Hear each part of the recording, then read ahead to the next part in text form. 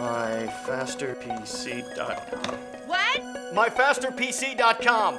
It's software I'm downloading that will supposedly make this darn computer faster. Stop all those crashes. Good luck with that.